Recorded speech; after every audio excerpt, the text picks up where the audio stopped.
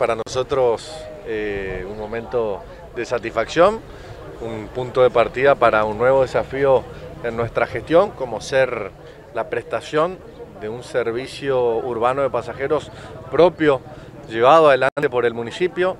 Sabemos que venimos de una polémica bastante importante, de un debate bastante significativo en relación a lo que ha sido ¿no? la suspensión del servicio, bueno, el cambio de orientación en relación a lo que fue la política de subsidios, eh, primero provincial, después nacional.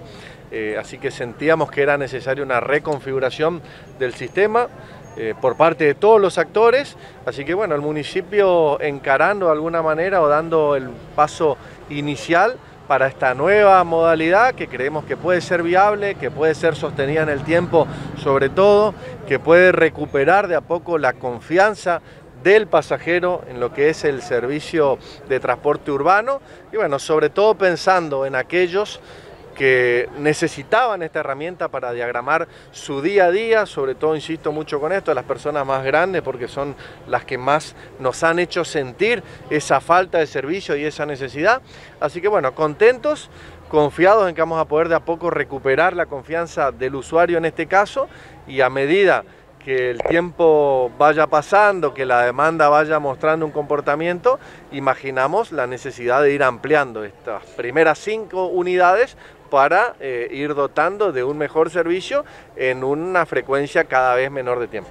Características en cuanto a carrocería, tiene la utilidad de un ómnibus urbano con la diferencia de que tiene 3 metros menos de largo, lo que hace que sea más maniobrable en la ciudad, menos incómodo para el tránsito, que hoy en día en las grandes ciudades o en las, ciudades se hace más complicado porque ha aumentado el parque automotor considerablemente.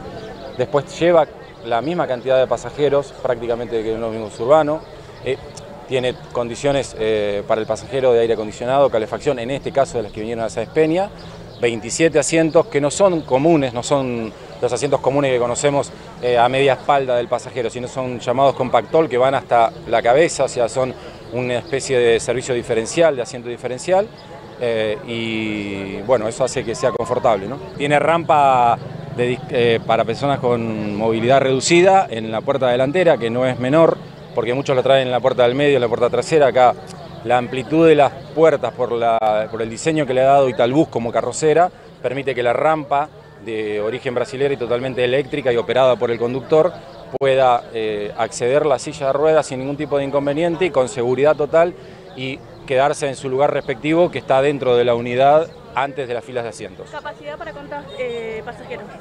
27 personas sentadas más 19 personas paradas. Depende de la contextura, ¿no? O sea, todo va, si lleva, son niños, bueno, quizás un poco más, si son personas grandes, eh, una o dos menos, pero en total son 47, 48 personas. Muy contento, la verdad que después de tanto tiempo y volver a agarrar un volante emocionado, contento, contento. Por mí, por mis compañeros y por mi familia. La verdad estamos muy contentos, felices de volver a trabajar principalmente y bueno, y agradecer a toda la gente y que nos apoyen y que sigan sumando colectivos, minibuses y que podamos trabajar todos los compañeros. ¿Pensaban que perdían esta fuente de trabajo? Y la teníamos perdida prácticamente, gracias al municipio, al intendente y vamos a empezar a trabajar de vuelta. Eh, de parte de nosotros, contentos porque bueno, volvemos a trabajar. Eh, en, lo que nos gusta y bueno, y espero que esto sea eh, algo bueno para los espeñenses y, que agarre y que, que, la gente deje de estar sufriendo por, por la falta del transporte público acá en.